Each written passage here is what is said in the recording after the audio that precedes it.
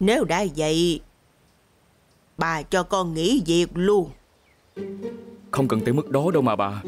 Với lại con ờ, Không muốn bà cứ tức giận hoài. Như vậy vậy trúng gió lắm.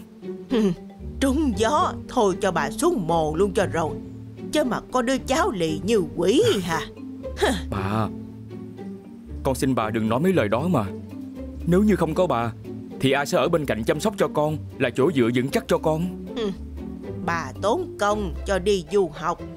Để về đây nhận việc nhà nước Con không chịu.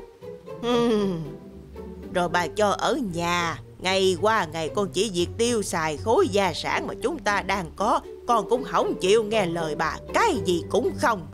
À, Lại chọn làm công cho người nước ngoài. Rồi phải công tác chỗ xa xôi. Vừa mới về đây thì Nè con nhìn đi. Trời ơi Nè nè nè nè nè, nè. Chắc là Ờ. đánh thêm quá. Đó bầm xanh tím đen nguyên người vậy đó. Còn xém mất mạng luôn nữa chứ.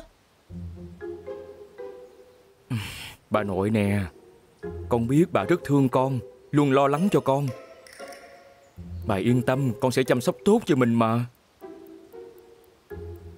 Bà suy nghĩ kỹ rồi.